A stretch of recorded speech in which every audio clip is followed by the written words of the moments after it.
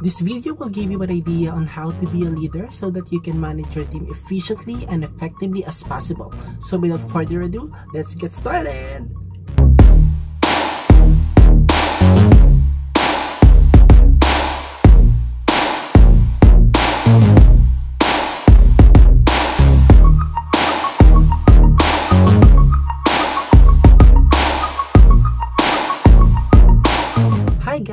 Name is Red and I am working in a BPO industry for more than a decade now as an operation manager and I'm creating this content because I've been getting messages from my friends, employees and previous employees. They wanted me to share my experiences and my best practices on how to be a leader. I am not saying that I am a good leader but they wanted me to share what are my techniques.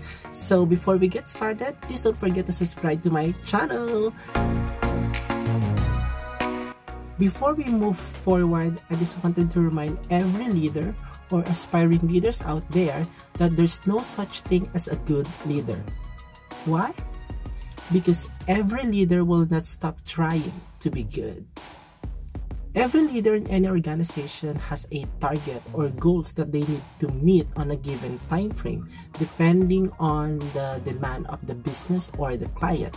And I have to say today that we will not be in this position if we don't have the skills to fix this. In line with that, this video will not tell you on how to attack a specific metric or your targets because you're not meeting it because there's already a process in place in every organization that we need to follow on how we can get to the bottom of that.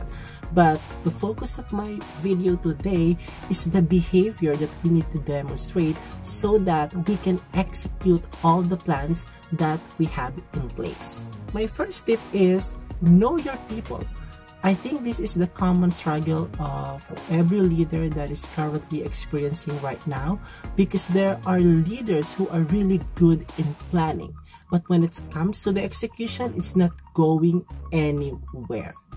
And if you are feeling that way, maybe there is something wrong or there's a gap between you and your people always keep in your mind that no matter how good your plan is, if your people will not follow it, then your plan will put into waste. The best way to let your people follow every action plans that you have in your mind is by simply knowing them. The first time you step in as their leader. We have the saying in our company that you have to win the hearts of your people before you win their mind. How are you going to do this? Build connection. Know your people, what's their life outside office. This is very important because you have to understand their motivation, what keeps driving them.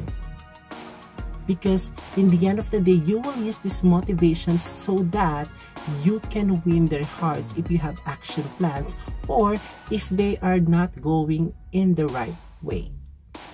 I am a believer that we should not build a wall between our people. Instead, we should just draw a very thin line.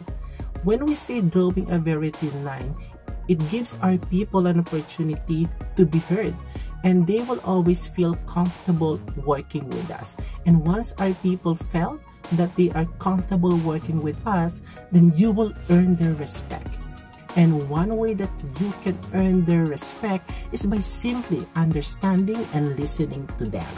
By simply doing this, you are starting to build a strong foundation that you are a leader that practice open door policy, that you are always there to listen to any of their feedbacks, complaints under your organization. Because in the end of the day, you are the leader and you are there to fix it. If our employees feels that they have a leader who listens, then whatever actions or changes that you will make in your organization, they will follow it, not because they have to, but because they respect you. Encourage feedback to your leadership.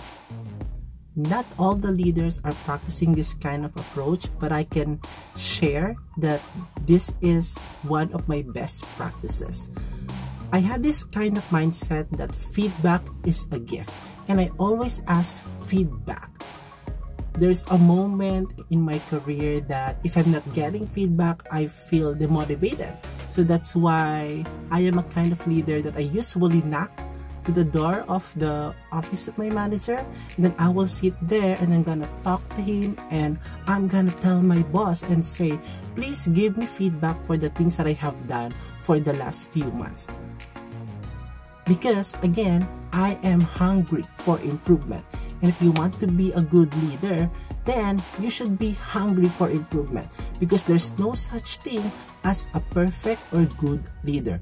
There will always be improvement that you need. One thing that I do not miss to do with my employees is to have a one-on-one -on -one session with them on a monthly basis. And there are two questions that I usually ask them. The first question that I ask them is, are you still happy satisfied and comfortable with my leadership? Usually they will say yes. And of course, I will follow it with a question, why? Because that's gonna be a positive feedback. But I will not stop there because our employees will not usually say the things that they don't like about us. The next question that I usually ask them is, if there are things that I need to improve as your leader, what would that be? I always encourage my people to say something no matter what it is because I have a mindset that I am not a perfect leader. There is always something that I need to improve on. And they have to say it to me so that I will not do it again. If I hurt their feelings because I call them out, they have to say it to me so that I can apologize or explain why I did that. This conversation is really important because I don't want to burn bridges with my people. I always make sure that the bridge that we have as their leader and as, as my employee is always strong. I always believe that whatever actions that I have, it's my subordinates who will execute it. And if we don't have a good connection and a strong foundation, then I will not be able to see the result that I'm expecting it's okay to say sorry. I understand that in our position right now, there's a lot of pressure and there are some instances that our emotions are getting over on how we speak or how we talk to our people. And you will always feel that sometimes you are somehow going beyond the line that you draw between you and your employee. And if you felt that somehow you have said something that might hurt the feelings of your employee, then talk to them and explain what had happened. And again, it's okay to say sorry. Because saying sorry is not a sign of weakness. When you don't be afraid to let go. See, we can't hide the fact that there are employees that we have that are not meeting our expectation after we upskill them and give them redirection or advices. And in the end of the day, the only thing that is left for us to be able to grow in our business is to let them go. And this kind of situation is common to every leaders out there because they know what's gonna happen and they don't want to let go of their people not because of their skills but because of the understanding and the connection that they have with them. This is something that needs practice because it will really take time for you to be able to make this kind and hard decision. I have to tell you that based on my experience i learned it in a hard way. And after that I have realized that sometimes the best way to help someone is to let them go. We are under the impression that if we will keep them in our business, we are helping them. We are helping their, their family to sustain their financial need. But we are not aware at the back of our mind that we are dragging them down. We are letting them stand in the quicksand. When I learned that in a hard way, I understand that sometimes you have to let go of your people because you are helping them. because maybe the situation or the profile that they have right now doesn't fit the organization that you have. Maybe they are good in a different line of business. If and if you are keeping them and then you're stopping them to grow. I know that sometimes as a leader we make decision based on our emotion because of the guilty feelings that we feel once we deliver the sad message. By knowing the struggles and current status of our employees sometimes lead us to make a bad business decision making. And I definitely understand that because I've been there and I learned it in a hard way. But keep in your mind that sometimes in order to help someone is to let them go. Alright guys, so I hope you like all the tips that I have provided. Again, I am not saying that this might work, but these are my best practices and I'm willing to share it to everyone.